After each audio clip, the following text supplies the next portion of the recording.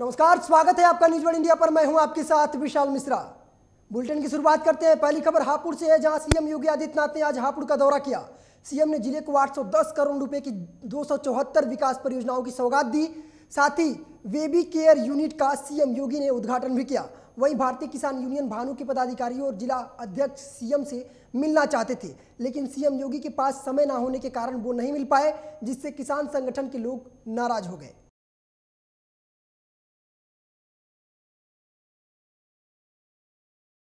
अगली खबर ऋषिकेश से है, जहाँ नशे के खिलाफ चलाए जा रहे अभियान के तहत पुलिस ने मादक पदार्थों को बेचने वाली महिला तस्कर को गिरफ़्तार कर लिया है। पुलिस ने महिला के खिलाफ मुकदमा दर्ज कर लिया है। अब पुलिस महिला आरोपी को कोर्ट में पेश करेगी।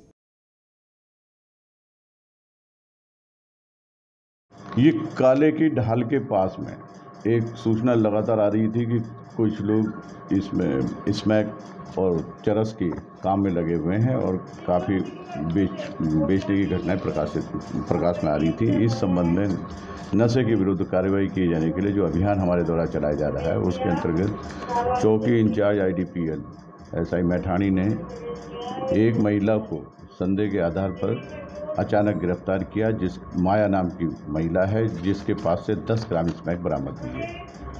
इसके खिलाफ क्या कार्रवाई चल रही है? माया के विरुद्ध एनडीपीएस एक्ट में मुकदमा कायम कर दिया गया है। उसको जेल भेजा जा रहा है। रिमांड हेतु न्यायालय में पेश किया जा रहा है। खबर उधम सिंह नगर से है जहाँ ज़िले के नानक मत्ता थाना क्षेत्र में बीती देर रात बर्थडे पार्टी में जीजा ने साले की लाठी डंडों से मारकर हत्या कर दी। सूचना पर पहुँची पुलिस ने शव को कब्जे में लेकर पोस्टमार्टम के लिए भेज दिया है। साथ ही पुलिस आरोपी की तलाश में जुटी है।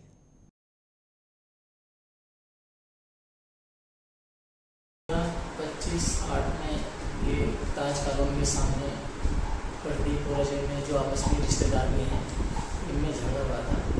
और जो उसमें एग्रीड है उसने इसके सिर में डंडा मारा अजय के, जिससे रात इसकी मौत हो गई है और अभी पैसे के माध्यम से इसकी पोस्टमार्टम की कार्रवाई की खबर ऋषिकेश से है, जहाँ रोटरी क्लब के सहयोग से प्रसाद हॉस्पिटल में निशुल्क महिला जाँच शिविर का आयोजन किया जा रहा है। इसमें जाँच के लिए आने वाली महिलाओं की पहले रजिस्ट्रेशन कराया जा रहा है। इस शिविर की जानकारी देते हुए रोटरी क्लब के पदाधिकारियों और प्रसाद हॉस्पिटल के डॉक्टरों ने प्रेस वार्ता की, जिसमें बताया बताया कि हर साल इस शिविर का आयोजन किया जाता है, जहाँ जरूरतमंद गरीब महिलाएँ आकर अपना जाँच करा सकती हैं।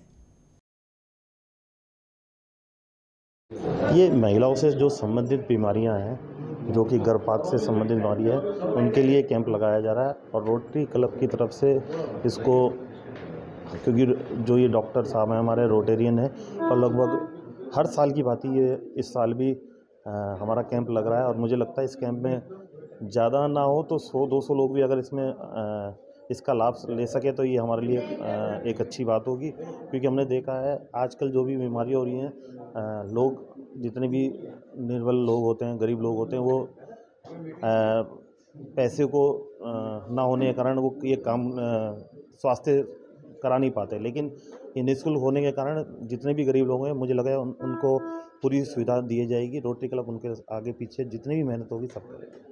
एक तो डिजिटल वीडियो कॉल्पोस्कोपी होती है, जिससे बच्चेदानी के मुख की जाँच होती है, जो कि कैंसर की कोशिकाओं को बहुत अर्ली स्टेज में डिटेक्ट कर लेती है। एक तो ये जाँच निशुल्क रखी है, और दूसरा ट्रांसवेजाइनल अल्ट्रासोनोग्राफी, जो कि बच्चेदानी और अंडाशय के लिए भी बहुत जल्दी स्टेज में कोई भी बीमार आकार विकार होता है, जैसे रसौली या गांठ है, वो सब जल्दी पता करा लेती है। एक तीसरा, हम लोगों ने बचपन से रिलेटेड भी कैंप रखा हुआ है, जैसे शादी को दस बारह साल हो गए और बच्चा नहीं ठहर रहा, बहुत इलाज हो गया या रिकरेंट प्रेगनेंसी लॉस है, बहुत बार गर्भपात हो गया, पर बच्चा नहीं गोद में आ पा रहा। खबर उत्तरकाशी से है, जहाँ गंगोत्री राष्ट्रीय राजमार्ग स्थान हेलगू गाड़ के पास मलबा आने से भूस्खलन होने के कारण राष्ट्रीय राजमार्ग काफ़ी समय से बंद हो गया था, जहाँ पर बीआरओ ने कार्य कर समय लगभग सुबह 11 बजे मार्ग यातायात के लिए खोल दिया गया है।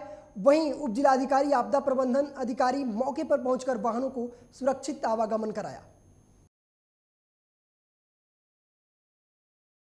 अगली खबर उत्तरकाशी से है, जहाँ जिला कांग्रेस कमेटी उत्तरकाशी के बैनर तले पूर्व विधायक विजय पाल सजवाड़ के नेतृत्व में कांग्रेसियों ने आज यूकेएसएससी पेपर लीक, भर्ती घोटाले और सहकारिता विभाग, फॉरेस्ट गार्ड, भर्ती घोटालों पर राज्यपाल से सीबीआई जाँच कराने की मांग की है।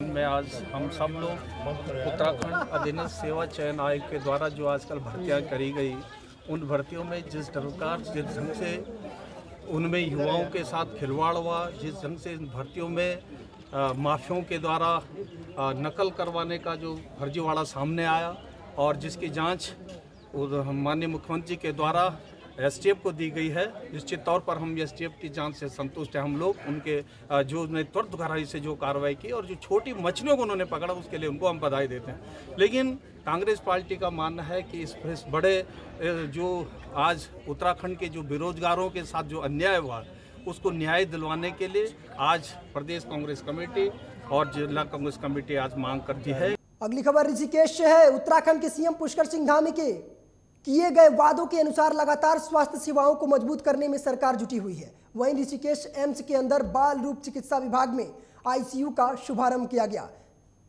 सीएम ने दावा किया है कि उत्तराखंड में स्वास्थ्य सेवाओं को इतना मज़बूत किया जाएगा कि राज्य के साथ साथ पड़ोसी राज्यों के लोगों को भी इसका लाभ मिल सकेगा।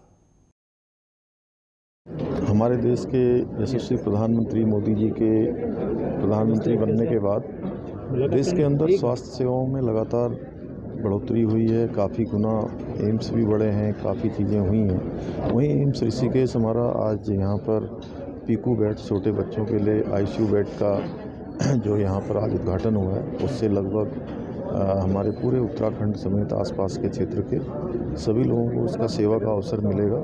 इसके साथ साथ पिछले दिनों हम लोगों ने हमारी कैबिनेट ने ऊधम सिंह नगर दूसरा जो एम्स खुल रहा है हमारा कुमाऊं क्षेत्र का, उसके लिए भी ज़मीन आवंटित कर दी है। फ़िलहाल इस बुलेटिन में सिर्फ़ इतना ही, देश और दुनिया की तमाम बड़ी खबरों के लिए देखते रहिए न्यूज़ वर्ड इंडिया।